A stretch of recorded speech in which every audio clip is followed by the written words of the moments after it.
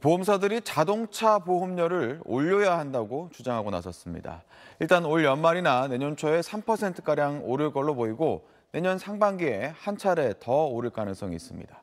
박찬근 기자입니다. 손해보험사들은 자동차 정비요금 인상으로 보험료 인상이 불가피하다고 주장하고 있습니다. 지난 6월 국토교통부가 적정 정비요금을 평균 2.9% 인상했고 이후 손보사들은 정비업체와 재계약을 맺고 있습니다.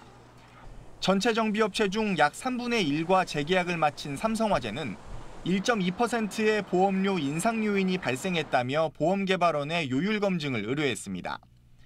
정비요금이 상승이 되면 보험사에서 자동차 정비업소로 지급해야 될 보험금이 늘어나기 때문에 좀 인상 요인이 있습니다. 삼성화재는 이와 별도로 손해율도 크게 올랐다며 약 2%의 보험료 추가 인상에 대한 요율 검증을 또 의뢰할 계획입니다.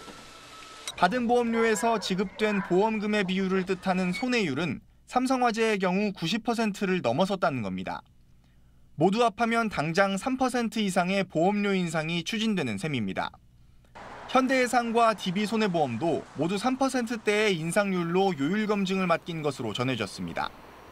보험료 인상은 이르면 다음 달 말부터 이뤄질 걸로 보입니다. 손보사들은 모든 정비업체와의 재계약이 끝나는 내년 1분기, 늦어도 상반기 중에 약 2%대의 보험료 추가 인상을 추진할 걸로 알려졌습니다.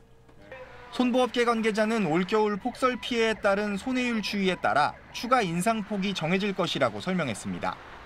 SBS 박찬근입니다.